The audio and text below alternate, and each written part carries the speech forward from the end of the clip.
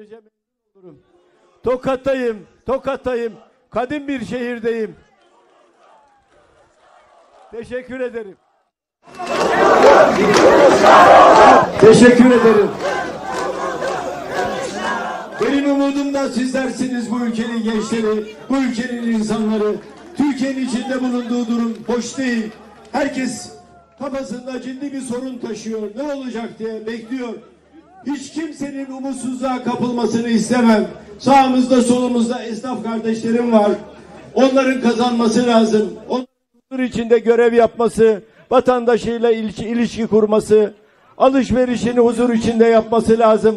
Aile evran geleneğini sürdürmesi lazım. Herkesin kazandığı, herkesin ürettiği, herkesin alın teri döktüğü bir Türkiye güzel Türkiye'dir. O Türkiye'de ancak huzur olabilir. Ama esnafa vermiyorlar, çiftçiye vermiyorlar, emekliye vermiyorlar, işçiye vermiyorlar. Beşli çetelere veriyorlar. Onlardan, o beşli çetelerden hak etmedikleri paraların tamamını alacağım. Esnafa vereceğim. Diğer yerlerde söylüyorum, burada da söylüyorum. Ben esnafın, çiftçinin, emeklinin, işçinin, tarlada çalışanın, ev kadının, herkesin ama herkesin alın terine değer veren birisiyim. Beni şöyle tanımlayın. Ey Kılıçdaroğlu sen kimin adamısın? Ben de diyorum ki ben ezilenlerin, ben garibanların, ben işsizlerin, ben esnafın, ben çiftçinin, ben emeklinin, ben sanayicinin adamıyım. Ben beşli çetelere hizmet eden birisi değilim. Bunu herkesin bilmesini isterim. Ayrıca, ayrıca bunlar kendilerine biz milliyetçiyiz diyorlar. Bizim milliyetçilik anlayışımızla bunların milliyetçilik anlayışı arasında siyahla beyaz kadar fark var. Bizim milliyetçiliğimiz vatanseverliktir. Bizim milliyetçiliğimiz bayrağımızı sevmektir. Bizim milliyetçiliğimiz herkesin kimliğine, herkesin inancına, herkesin yaşam tarzına saygı göstermektir. Bizim milliyetçiliğimiz Türkiye'nin itibarını ve çıkarlarını korumaktır. Onlar İdlib'de 33 askerimiz şehit olduğunda o şehitlerin hakkını soramadılar. Koşa koşa Putin'in ayağına gittiler. Ben ettim sen etme dediler. Biz bunu yapmayız. Biz Türkiye'nin itibarını koruruz. Biz yine gittiler. Askeri hastanelerin tamamını kapattılar. Dünyada hastanesi olmayan tek ordu Türk Silahlı Kuvvetleri. O hastaneleri gata dahil tamamını alacağız. Allah nasip eder iktidar olduğumuzda bir hafta içinde Şanlı ordumuza teslim edeceğiz. Yetmedi. Yetmedi. Şanlı ordumuzun elinden tak palet fabrikasını aldılar. Götürdüler Katarlara verdiler. Yandaşlara verdiler. Kendi ordusundan tank palet fabrikasını alıp yabancılara teslim edenlerden hem hesabını soracağız hem de o fabrikayı alacağız. Yine ordumuza teslim edeceğiz. Bir hafta içinde yapacağız bunu. Hiç kimse endişe etmesin. Milliyetçilik vatanseverliktir dedim. Milliyetçilik toprağına sahip çıkmaktır dedim. Süleyman Şah Türbesi'ni kendi toprağımızdan yani vatanımızdan bayrağımızı indirdik. Süleyman Şah Türbesi'ni kaçırdık. Kendi toprağından kaçtılar. Kendi bayraklarını indirdiler. Geleceğim Allah nasip ederse Millet İttifakı olarak geleceğiz. Süleyman Şah Türbesi'ni yine toprağımıza götüreceğiz. Bayrağımız orada yeniden dalgalanacak. Bunu şunlar için, şunun için anlatıyorum. Hep CHP'yi suçluyorlar. Açık ve ne söylüyorum. Burada söylüyorum. Onların yüzüne de söylüyorum. Ama onlar bunu anlamıyorlar. Gidip başka anlatıyorlar. Başka yerlerde başka şeyler ifade ediyorlar. Milliyetçilik vatanseverliktir. Milliyetçilik bayrağına sahip çıkmak demektir. Milliyetçilik ordusuna sahip çıkmak demektir. Güvenlik güçlerine sahip çıkmak demektir. Milliyetçilik itibarına, Türkiye'nin itibarına sahip çıkmak demektir. Tokat'ta güçlü bir milliyetçilik damarının olduğunu biliyorum. Onun için bunu açıklıyorum. Onun için söylüyorum. Siz kim? Milliyetçilik kim?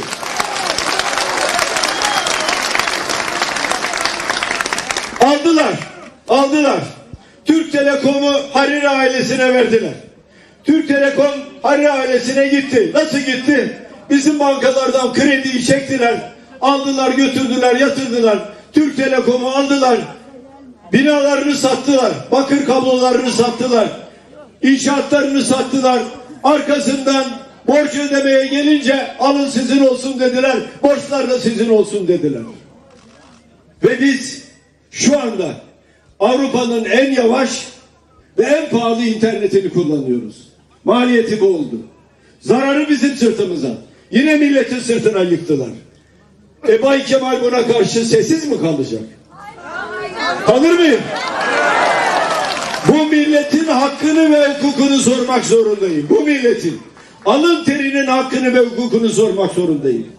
Esnaf kardeşlerim beni dinleyin. Allah nasip eder Millet İttifakı olarak iktidara geldiğimizde ilk bir hafta içinde esnafın ve çiftçilerin ister bankalardan ister esnaf kefalet kooperatifinden ister tarım kredi kooperatifinden aldıkları kredilerin faizlerini bir hafta içinde sileceğiz. Yeter ya perişan ettiniz esnafı. Çiftçiyi perişan ettiniz. Çiftçiyi toprağa küstürdünüz. Yeniden ama yeniden güzel, ahlaklı bir Türkiye inşa edeceğiz. Yeniden. Siyasette ahlakı getireceğiz. Siyaset cep doldurma sanatı değildir. Siyaset köşeyi dönme sanatı değildir. Bakın bütün tokatlı kardeşlerin dinlesin. Siyasete girdiğim gün kendi mal varlığımı kendi internet siteme koydum. Mal varlığım budur. Alacağım borcum budur dedim. Ama ben defalarca sordum. Sizin mal varlığınız nedir diye. Buradan oğlum para gönderecek milyon dolarları Amerika'ya gönderecek gönderecek. Senin kızın da oradan o paraları alacak gökdelen yapacak. Ve Bay Kemal bunu seyredecek öyle mi? Hayır yemezler. O paraların tamamını Türkiye'ye getireceğim. Esnafa ve çiftçiye vereceğim. Herkes bunu böyle bilsin. Herkes.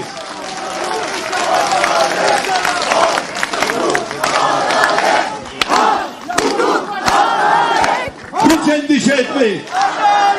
Hakkı, hukuku ve adaleti getireceğiz.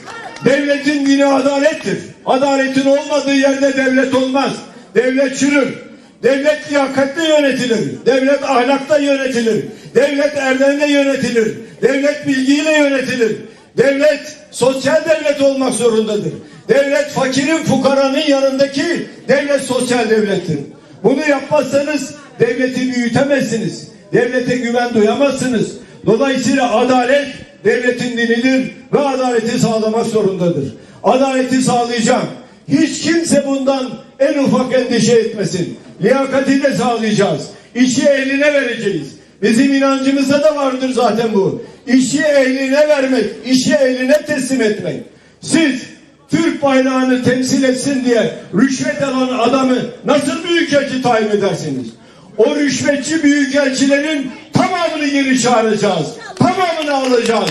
Rüşvetçi birisi Türkiye Cumhuriyeti bayrağını temsil edemez.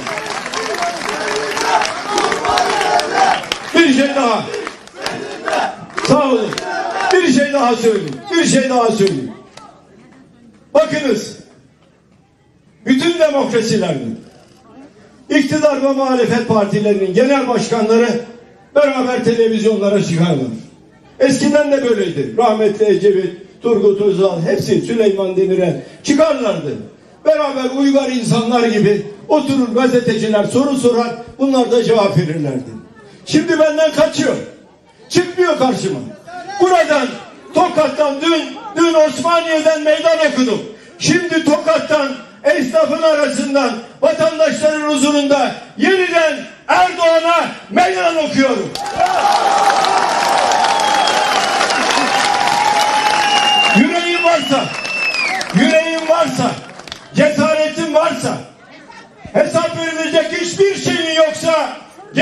Gelirsin karşıma. Devletin bütün imkanları önünde. Devletin bütün imkanları elinde. Sen istersen tek başına.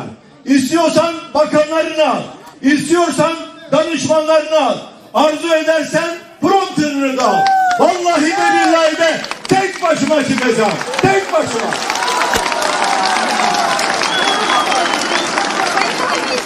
Dün söyledim. Akşam bekliyorum. Hangi televizyonda istiyorsan. Senin dünya kadar yandaş televizyonun var. O televizyonlara çıkarım. Ama karşıma çıkmaya cesaret edemiyor. Bulmuş AK Parti milletvekillerini bana oradan meydan okuyor. Sen kim? Meydan okumak kim? Meydan okuyorsan karşıma çık. Yiğitler gibi, aslanlar gibi çıkacağım diyeceksin.